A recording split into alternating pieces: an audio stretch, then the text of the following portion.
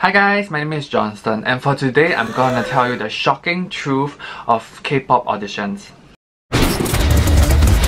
So today I'm going to tell you the truth of the global K-pop auditions. What goes through during the K-pop audition and how you might potentially get into the K-pop audition. So when you first step into a K-pop audition, you need to fill up your particulars and then you need to pick one of the following category that you are auditioning for. You can audition for a singer, actor, dancer, host, or a model. These are the 5 categories that you can choose from. Once you have picked them and when it's your turn, you will show them whatever you have prepared before that and then you need to perform it on the stage in front of them. So for a singer, you need to prepare like 30 seconds to 1 minute of an acoustic song. Try to use your voice to your advantage. Not everyone is a powerhouse, okay?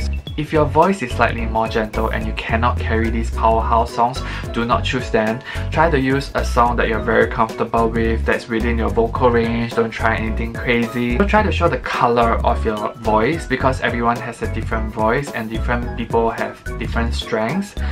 So if you're not exactly a powerhouse, you can still get chosen if they like your voice. So for a model, you definitely need to do a catwalk. And so the, the judging panel is kind of like a T-junction. So all you need to do is catwalk like towards them and then across them and back. And then for hosting, they might ask you to do something impromptu on the spot. They might ask you to like sell something or they might ask you to introduce something or try to pitch something to them and then they will gauge your hosting ability.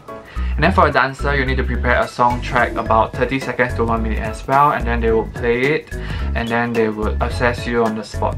So for acting, they will ask you to come up with a 30 seconds to 1 minute um, script that you have came up with and then they will gauge your acting ability. So this is just the introduction of the audition and here comes the truth of the audition, okay? The whole purpose of a global K-pop audition is that the company already has a mindset of a boy group or a girl group and they already finalize what type of music that they're going to produce therefore they set out to find other members to fill up the position. And also sometimes this is a marketing or PR strategy to let you guys know that in 1 to 2 years time there will be a new group that will debut. Another thing I want to talk about is age. Okay, so I'm sorry to tell you guys, but if you're over 25 years old, um, I think that getting through an audition at the age of 25 and above is kind of difficult because, to be honest, the age range that they're looking for is probably as young as possible, maybe from 9 to 18. There is training involved, they'll take you about 2 years to 10 years to train before you debut. And then when you debut, you'll be like 30 over years old. I mean, I don't think that that is ideal. They will preferably like you as young as possible. So if you are about that age range, which is like me, you should probably think about something else. I'm, I'm not stopping you from chasing your dreams, but at the same time, you need to know the reality of it. You may not be able to get into a K-pop audition because of your age. I have had friends that are very talented, they can sing, they can dance, they have the look, they have everything down. The only downfall is their age and therefore they didn't pass the audition. So um, to many people that always tell me like why you don't go for the audition, like I think that um, as much as I would like to present myself, I still think that I'm kind of um, wasting my time because unless I'm a perfect package that can debut immediately, then they wouldn't sign me. And scrolling back to my first point, like I told you guys, they already have a kind of mindset, boy group or girl group in mind. So if you don't fit that criteria, they wouldn't choose you. Unless you're super talented or super amazing and super charismatic, they might choose you for somewhat reason and want to debut as a solo artist. But I think the chances of that is very, very, very slim. Based on the people that I noticed that got in, right, they have black hair, they're very plain looking, they're not very outrageous with their style, they're not very outrageous with their hair color. And then I think this is what the agency wants because if you are a new face they will want to understand like what are the possibilities they can do with you. And it is best if you present them yourself in a clean slate. So you need to be like as basic as possible but still look good.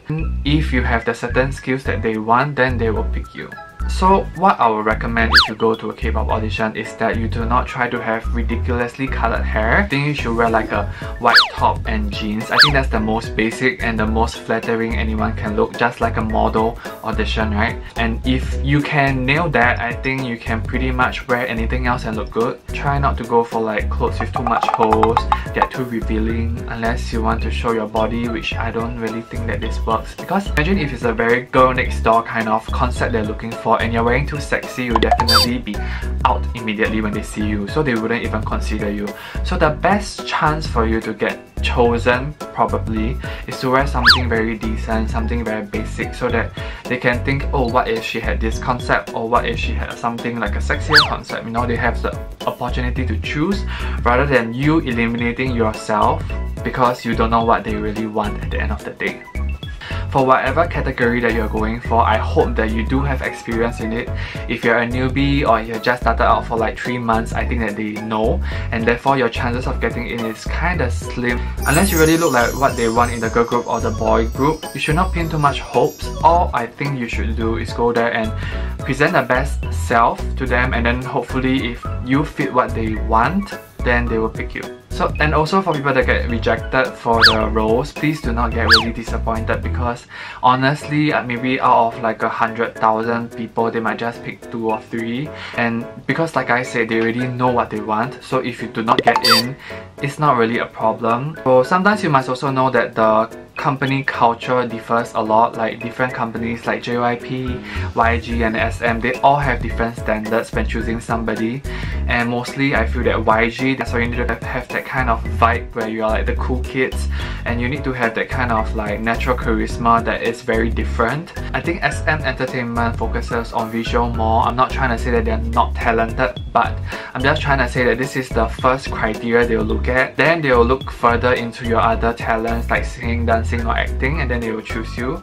Like I think for JYP they choose more on character and how you like deal with things and then if they talk to you, if they were to question you about anything, you need to be really prepared and you need to um, just present your best self and just be confident, okay? So if you do have the chance to take part in the auditions, do remember the notes that I gave you. Remember to dress properly, remember to prepare yourself thoroughly, and remember to have a good character. So most importantly, be yourself and if you fit what they're looking for, they will pick you.